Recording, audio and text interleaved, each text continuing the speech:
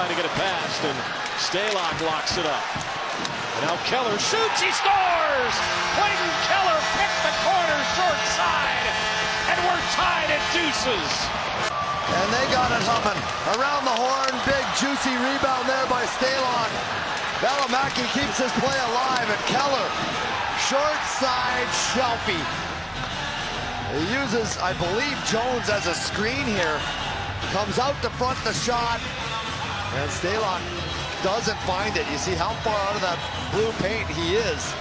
Can't get back.